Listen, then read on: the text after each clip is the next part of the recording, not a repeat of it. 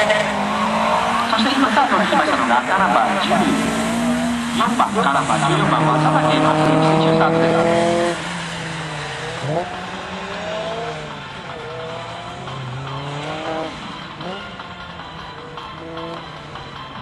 7番13番の北海道からやってまいりました大木圭一選手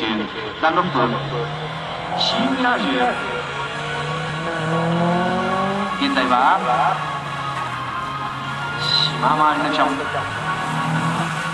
あ頭が決まられなかったそして今チェッカー入れます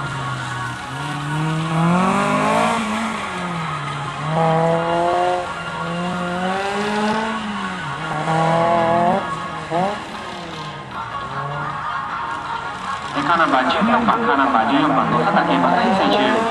えこちら中間は30秒29、中間は30秒29、カナバ10の本田スタートです、カナバ10の本田スタートしていました、吉木鳥選手スタートです。番13番、カナバ13番の攻撃選手、